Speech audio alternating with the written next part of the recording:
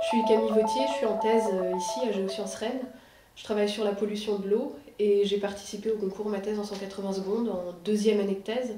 Jean-René Drosy, donc je suis l'encadrant de thèse de Camille Vautier et accessoirement euh, le directeur euh, de l'Observatoire des sciences de l'univers de Rennes. Je suis Isabelle Cantard, je suis professeure à l'Institut de physique de Rennes, je fais partie de l'Université de Rennes 1 et également sous tutelle du CNRS. Au début, ce qui m'a donné envie, c'était vraiment la formation, d'avoir des informations sur la vulgarisation scientifique. Euh, c'est quelque chose que je connaissais pas du tout. Et puis, à l'issue de la formation, je me suis dit que ça pouvait être intéressant d'aller vraiment devant le grand public. Et effectivement, c'est un aboutissement qui est très agréable, puis qui permet après d'avoir euh, des contacts un petit peu avec des gens qu'on n'aurait pas rencontrés euh, dans le milieu purement académique. Donc j'ai eu la, chance d'être euh, sélectionnée pour faire partie du jury de ma thèse en 180 secondes. Et ça a été vraiment pour moi une découverte de cet exercice. Et je pense que voilà, je voulais apporter mon témoignage favorable et mes encouragements à tous les thésards qui veulent se lancer dans l'aventure. L'aspect que je trouve le plus important dans l'exercice, le plus intéressant, c'est que, in fine, le contact avec le public, la nécessité de s'adapter à un nouvel exercice, donne une nouvelle vision scientifique à son propre sujet. J'ai trouvé que Camille avait singulièrement progressé dans la méthodologie, de décrire de façon extrêmement simple, extrêmement directe, des aspects qui sont très fondamentaux de méthodologie scientifique, de résultats, d'originalité, de spécificité de son sujet, ça lui a permis de trouver ce qui était essentiel, essentiel pas simplement dans ce qu'elle fait au quotidien, mais aussi dans l'ensemble de son sujet. Je pense que le milieu de thèse, c'est l'idéal pour participer à ce concours, même si on peut le, faire n'importe quand. Mais on a déjà un petit peu de recul sur son sujet, on a déjà des choses à raconter. Et puis en même temps, euh, il est encore temps de se réorienter un peu, de revoir le sujet dans sa globalité. Euh, et du coup, le concours peut aider euh, pour ça. Mon, conseil, si c'était pour euh, un doctorant que j'encadre, ce serait de faire ça en deuxième année si on a vraiment envie de le faire, si c'est un objectif qu'on s'est donné dans sa thèse, ce qui me semble tout à fait légitime. Euh, si on ne sait pas trop et qu'on hésite, je pense que le meilleur moment, c'est la troisième année, avec le risque que euh, la troisième année, on soit pris par le temps, que ça soit plus dans les priorités immédiates, parce qu'il faut rédiger un manuscrit. Mais c'est sans doute le moment où on a le meilleur recul sur son propre travail et on peut raconter la plus belle histoire. Au départ, quand j'ai décidé de participer, je pensais surtout à la formation, euh, formation à la vulgarisation scientifique. Et puis c'est à l'issue de la formation que j'ai décidé de participer au concours euh, donc d'aller vraiment devant le, devant le grand public. C'était l'occasion de faire quelque chose de vraiment parfait et bien travaillé. Avant, une fois que je voyais à peu près ce que je voulais dire, je considérais que j'étais prête. Et puis là, ça a été, je me suis rendu compte que c'était impossible de faire ça euh, si on avait que 3 minutes pour parler. Et du coup, euh, ça m'a permis de voir ce que c'était quelque chose de vraiment prêt. Pour les doctorants, je pense que c'est une façon d'avoir un regard différent sur euh, leur propre travail, hein, d'échanger avec les autres, de retrouver euh, de l'énergie, éventuellement aussi de se rendre compte qu'ils euh, ont un beau sujet de thèse, que ça plaît aux autres, que ça les intéresse. Et ça, c'est une énergie qu'ils peuvent réinvestir ensuite dans, leur recherche.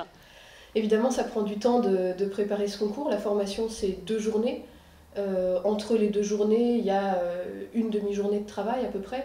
Et puis après la formation, peut-être encore euh, un jour ou deux pour être vraiment prêt pour la première phase.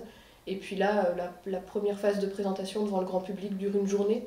Donc ça prend une semaine euh, d'aller jusqu'à la fin de la première phase. Je trouve que ce temps qui est investi au départ dans la formation est déterminant ensuite, particulièrement sur ces aspects soutenance et même après-thèse. Est-ce que c'est bien la recherche qui m'intéresse? Quelle est ma vocation? Est-ce que c'est bien une vocation de chercheur? Est-ce que c'est une vocation d'enseignant? Est-ce que c'est une vocation autre qui peut être une vocation aussi sur la communication? Aux encadrants, je dirais, euh, ben dites oui, bien sûr, euh, ça va faire du temps en moins sur les manips, euh, mais c'est pas grave, c'est du temps qui sera regagné plus tard en termes d'efficacité, d'énergie, de recul du doctorant sur son propre travail. Et participer aux phases suivantes de, de sélection, donc régionale, nationale, ça permet de se reposer encore des questions sur son discours, de l'améliorer, de l'élaguer, d'enlever les répétitions, d'ajouter même des choses parce qu'on enlève ce qui se répétait. On se rend compte que oui, c'est possible de faire passer un message, euh, pas forcément simple, dans mon cas par exemple la notion d'héritage en nitrate, euh, de le faire passer sans le transformer, sans le rendre faux, simplement en l'exprimant clairement. C'est pas parce qu'on communique hein, sur un travail scientifique que l'aridité, la rigueur disparaît. Ouais, tout, ce travail de, mise en forme de, de la vulgarisation de la recherche, ça donne à la fin des spectacles incroyables où on découvre chez les étudiants à la fois euh, des compétences scientifiques, mais aussi un jeu d'acteurs euh, qui, euh, qui m'a impressionné l'année dernière dans le jury, où j'ai découvert une autre facette de la personnalité de nos étudiants, plus humaine, plus riche, plus variée. Donc je, déboule dans la salle et je tombe sur Antoine Petit, assez spontanément il me dit, puis un vrai sujet il un vrai sujet dans ma tête dans ces 80 secondes, c'est que ce ne soit pas un vendeur de bagnole qui gagne. La, patte scientifique, hein, c'est qu'on n'est pas là, nous, pour faire de la vente. C'est pas notre rôle. Nous, euh, notre rôle de scientifique, euh, c'est euh, la connaissance, c'est éventuellement travailler avec une entreprise pour développer quelque chose qui à la fois est intéressant pour la connaissance et à la fois pour l'entreprise. Et, mais c'est pas de survendre ce qu'on fait bien préciser ce qu'on a fait et puis euh, ce qui reste à faire, ce qu'on va pas faire, ce que les autres ont fait. C'est formateur en tant que scientifique de savoir euh, quelle est notre position et de pouvoir rester sur nos résultats, sur notre compétence. C'est aussi euh, une autre façon de voir le monde. Pas uniquement avec des solutions, mais aussi avec des enjeux finalement, ça, fait partie du métier. On s'en rend compte un peu plus tard que bon, il y a la soutenance de thèse, ça c'est quelque chose, mais euh, ça, continue euh, après avec des enjeux qui sont parfois finalement plus grands. Et puis on est seul sur scène, il faut, euh, faut tenir son public. C'est un métier de communication, la recherche. Nous avons un enjeu hein, qui est clair, hein. l'enjeu d'être plus accessible, plus compréhensible. Les vieux comme nous peuvent avoir leur marotte, peuvent avoir leur façon de s'exprimer, leur verbiage. Euh, les jeunes ont leur rôle, et un rôle qui est très spécifique, euh, avec euh, une simplicité, avec aussi un mode d'expression qui est très direct, de pouvoir communiquer sur notre monde académique différemment, et que ça puisse toucher l'ensemble des jeunes.